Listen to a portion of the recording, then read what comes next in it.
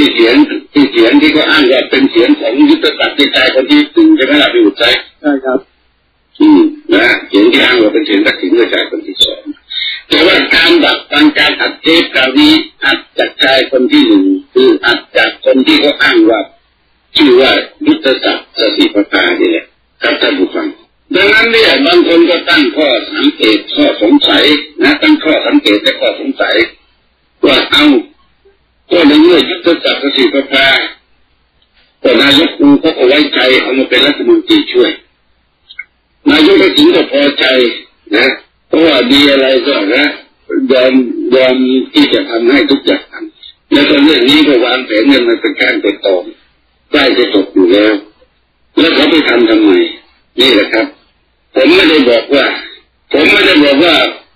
ผมเอกยุทธศักดิ์ปฏิปภานะ เล่อนสองหน้าหรอกนะครับ ผมไม่ได้บอกอย่างนั้นผมไม่ได้บอกว่าเป็นเอกยุทธศักดิ์ปฏิปภาเล่อนสองหน้า เอาเรื่องทั้งหมดเนี่ยนะปูดขึ้นมาเพื่อทำลายแผนนะที่ตัวเอง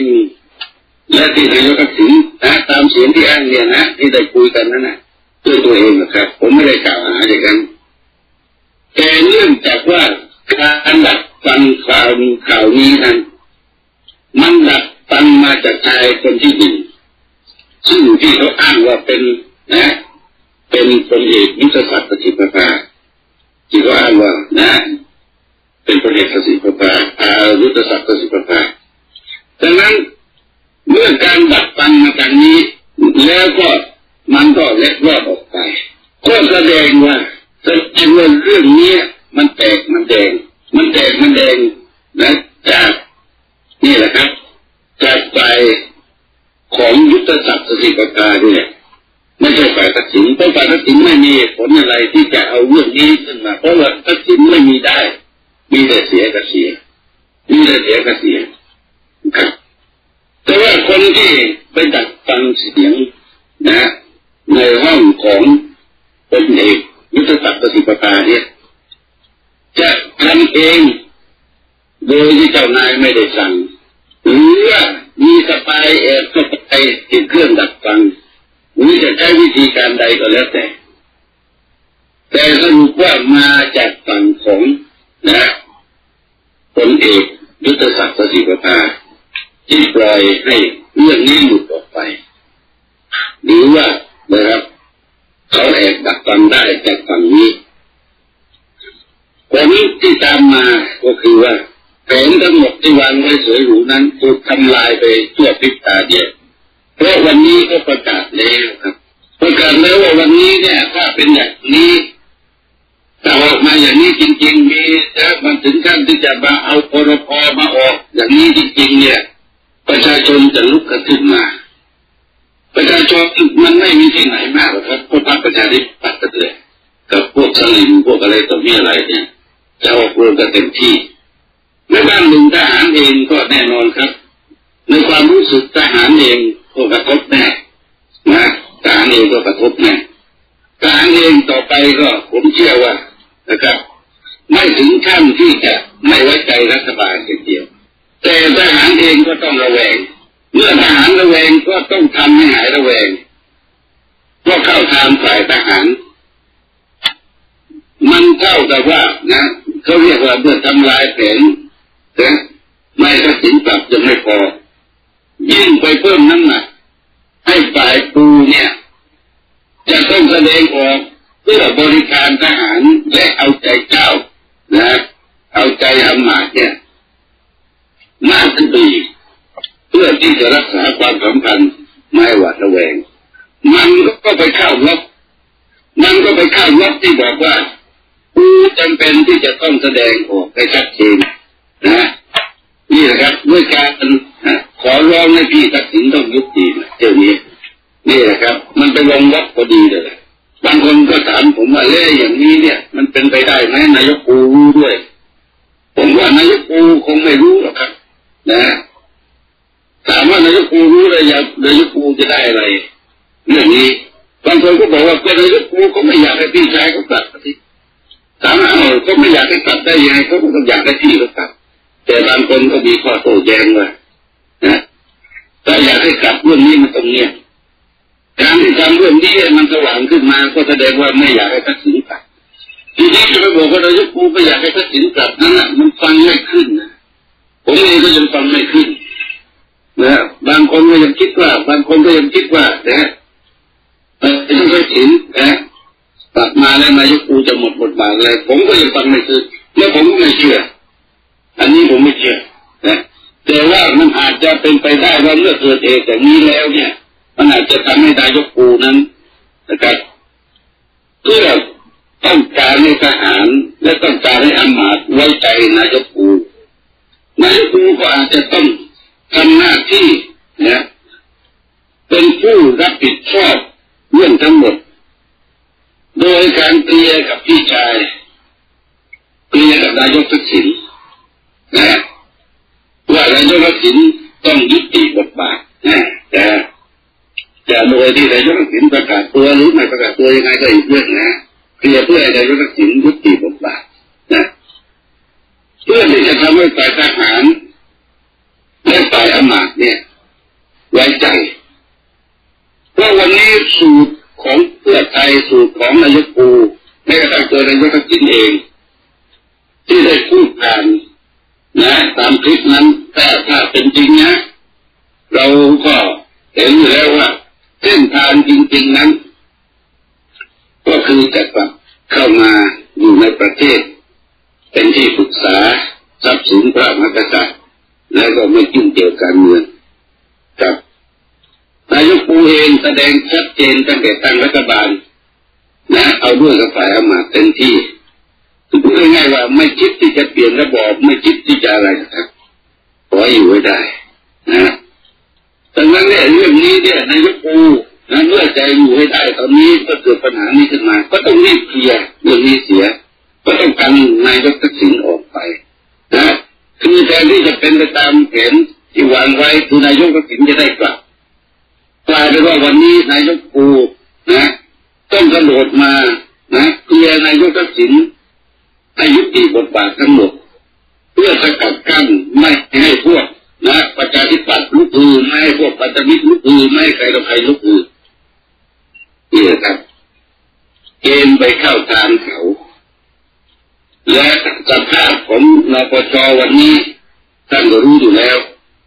ว่านปชเองวันนี้กับรัฐบาลกับเพื่อไทยนั้นนะเป็นอันหนึ่งอันเดียวกันได้แค่ไหนอย่างไร ท่านก็พอรู้อยู่แล้ว ผมไม่ต้องไปอธิบายต่อ นะนอกจากว่าไอ้พวกที่นั่งบ้าที่จะปกป้องกันเองก็นั้นแหละจะเอากระตามความเป็นจริงวันนี้แต่กับเขาเรียกว่าไม่ได้เป็นเนื้อเดียวกันสภาพอย่างนี้เนี่ย จะเอาอะไรไปสู้กับเขาครับคนเสื้อแดงอย่าคิดว่าผมไปดูถูกประมาทคนเสื้อแดงนะผมไม่ได้ดูถูกประมาทมวลชนมวลชนคนเสื้อแดงนั้น นะ ก็ยังเป็นมวลชนเสื้อแดงและพร้อมที่จะต่อสู้ต่อไป เมื่อกี้ก่อนเข้ารายการนะครับ ประชุมกันอยู่นะประชุมกันอยู่เต็มไปหมดก็ประกาศยืนยันว่าเราไม่ยอมเราสู้ต่อ ผมก็ถามแต่ว่าไม่ยอมอะไรนะอธิบายไปอธิบายมาก็สะดวกไม่ยอมรับกับระบอบประเด็จการถึงทักษิณจะไม่สู้ ถึงทักษิณจะยอมนายกปูจะยอม แต่พวกที่ต่อสู้เพื่อกระจายไปเขาจะเดินหน้าต่อนี่คือคำยืนยัน นะครับ จากฝั่งตะวันออกของประเทศไทยที่ประชุมร่วมกันอยู่นะยืนยันกับผมก่อนที่จะเข้ารายการนี้แหละผมก็บอกว่าถูกต้องแล้วล่ะเพราะว่ามวลชนเสื้อแดงนั้นไม่มีทางเปลี่ยนแต่เสื้อเหลืองหรอกและก็คลิปเสียงวันนี้ก็ไม่ได้เป็นผลร้ายกับกระบวนการประชาธิปไตย ที่หลายท่านเป็นห่วงเป็นใจอยู่นั่นแหละคลิปเสียงวันนี้ไม่ได้เป็นผลร้ายกับกระบวนการประชาธิปไตย นะเพราะอะไรครับเพราะว่า ถึงแม้ว่านะท่านนายกทักษิณซึ่งเดี๋ยวผมจะพูดความในใจเกี่ยวกับนายกทักษิณให้ท่านฟังนะถึงแม้ว่าท่านนายกทักษิณเองนะท่านจะไม่เอาด้วยกับแนวทางปฏิวัติท่านจะกลับมาเป็นหน้าที่ปรึกษาของทักษิณพระมหากษัตริย์อะไรก็แล้วแต่างคนก็บอกว่ามวลชนฝ่ายข้าวหน้าจะถอยออกมา ผมก็บอกว่าอาจจะถอยจากเพื่อไทย อาจจะถอยจากนปชแดงทั้งแผ่นดินครับ แต่ว่านะมวลชนก้าวหน้าไม่ได้ถอยและไปเป็นเสื้อเหลืองนะครับดังนั้นมวลชนในนปชก็ดีมวลชนของเพื่อไทยก็ดีใครก็ดีที่เขาต้องการประชาธิปไตย เขาไม่ได้ถอยไปไหนก็ถอยกลับมาอยู่รวมกับพวกฝ่ายปฏิวัติ ที่เขาจะต่อสู้เพื่อประชาธิปไตยที่แท้จริงนั่นเองเพียงแต่ว่ารอปรับกระบวนกันนิดหน่อยเท่านั้นแหละนะดังนั้นท่านไม่ต้องห่วงว่าผลที่ท่านไปห่วงว่าโอ้ถ้าคลิปเสียงนี่ออกมาแล้วเนี่ยชิบหายแล้วนะต่อไปฝ่ายเราทำอะไรไม่ได้ ผมบอกว่าฝ่ายเราที่ไหนล่ะก็แยกแยกก็ต้องย่อยแยกให้เห็นว่าวันนี้นั้น ท่านต้องยอมรับอย่าได้เข้าข้างกันจนจนจนแยกแยะอะไรไม่ออกแล้วก็ผมไม่ได้มาบอกให้ท่านต้องปวดเครื่องใครไม่ใช่แต่ต้องแยกแยกกันให้ถูกก่อนว่า วันนี้ที่ขัดแย้งกันแล้วก็คลิปเสียงออกมาเนี่ยคือความขัดแย้งระหว่างอามากับคุณชินวัตรวันนี้เป็นความขัดแย้งกันระหว่างฝ่ายอามากับฝ่ายชินวัตรท่านจะได้เข้าใจว่านี่คือความขัดแย้งกันระหว่างฝ่ายประชาธิปไตยกับฝ่ายประชาการนะฮะคนละเรื่องเลยครับ ก็ผมเคยบอกท่านมาท่านมาด่าผมว่าเขาจะกัดกั้นชินวัตวันนี้คลิปที่ออกมาคือเป็นคลิปที่ออกมาสกัดกั้นชินวัตเขาพยายามโยงไปเห็นว่าชินวัตจะเอาประเทศนะไปเป็นของชินวัตแล้วให้คำว่ามาเนี่ยนะถ้าผมผมจะย้อนกลับไป เนี่ยนะจะย้อนกลับไปก็บอกว่า เนี่ยนะว่าที่บอกว่าอยังไงเดี๋ยวผมจะจะเอาคำ มาพูดเขาบอกว่าอย่าคิดว่าบ้านนี้เมืองนี้ชาตินี้เป็นของบริษัทจิตวัตรหรือของคนตระกูลใดตระกูลหนึ่งนะคือพูดง่ายๆว่าจะมาบอกว่าเป็นของตระกูลจินวัตรอะไรผมอยากจะบอกว่าใช่ครับ อย่าคิดว่าบ้านนี้เมืองนี้เป็นของตระกูลใดตระกูลหนึ่งแม้กระทั่งตระกูลไม่ดนหรือของภูมิพลก็ไม่ใช่ดังนั้นวันนี้เนี่ยนะที่ประชาธิปัตย์ กมาบอกว่าทักษิณหรือว่านายกปูเนี่ยคิดว่าประเทศไทยเนี่ยนะครับ เป็นทรัพย์สมบัติของบริษัทของตระกูลจินวัตรนั้น ผมว่านะสุเทพคุณมีอคติเกินไปคนที่คิดว่าประเทศไทยเป็นสมบัติของตัวเองไม่ใช่ทักษิณชินวัตรนะครับผู้มีคนนั่นแหละ แต่จะระบุเอาไว้เลยว่าประเทศนี้เป็นราชอาณาจักรใครไปใครที่ได้นะแล้วยังบอกไว้เลยว่าประเทศนี้นะต้องทรงไว้ซึ่งพระราชอำนาจและถ้าหากว่าไม่มีประจักษ์ไว้ในกฎหมายรัฐมูลหรือในกฎหมายใดๆก็ให้ใช้ประเพณีการปกครองแต่เห็นไหมไอ้คนที่คิดว่าประเทศนี้เป็นของกูคนเดียวนั้นนะมันไม่ใช่คิดนะวะ นะวันนี้การที่ยกประชินวัตรขึ้นมานั้นนะนี่คือการอ้างเพื่อที่จะปลุกระดมมวลชนกระดาษใหญ่ที่จะปิดเกมและก็เป้าหมายอยู่ที่การทำลายล้างชินวัตรแล้ววันนี้บอกแล้วว่าเราไม่ได้มาบอกว่าทักษิณผิดนายกปูผิดไปเสื้อแดงผิดทุกใครผิดไม่ใช่ แต่นี่เป็นเหตุการณ์ที่เกิดขึ้น เรียนระดับเหตุการณ์ให้ท่านฟังแต่ได้เข้าใจ ว่าเขากำลังเอาเรื่องในคลิปเสียงเนี้ย มาทำลายแผนการกลับมาของทักษิณและแผนการกลับมาของทักษิณเนี่ย ผมเชื่อว่านะคนที่ติร่วมกันวางกันไว้นั่นเนี่ยนะครับ ผมไม่เชื่อร้อยเปอร์เซ็นต์นะว่าเขาเป็นพวกทักษิณนะครับ ถึงแม้ว่าทักษิณจะเชื่อร้อยเปอร์เซ็นต์นะ ว่าไม่ทรยศไม่หักหลังเขาถ้าไม่ทรยศไม่หักหลังเขานะครับ เสียงนี้ไม่หยุดออกมาครับ จริงๆเยอะนะมันไม่จะไปดับฟังได้ไงเพราะการดับฟังครั้งนี้นั้นเป็นการดับฟังโดยใช้ระบบลำโพงประจิตไว้นะใกล้ตัว หรือใช้ลำโพงที่ใกล้ตัวนะใกล้ตัวของของคนที่คุยด้วยนะที่ใกล้ตัวชายคนที่อยู่หรือที่เขาอ้างว่าเป็นพุทธศาสนาเลยดังนั้นผมไม่เชื่อนะใครจะเชื่อยังไงก็แล้วแต่ว่านะ เขาสู้สัตว์ต่อทักษิณเขาสู้สัตว์ต่อกูผมไม่เชื่อหรอกครับเพราะว่าในความสัมพันธ์นั้นเขาไม่ได้สัมพันธ์แต่เขาสัมพันธ์นะกับฝ่ายอามาตย์ด้วยแล้วก็ค่อนข้างจะจะเป็นคนของฝ่ายอามาตย์ด้วย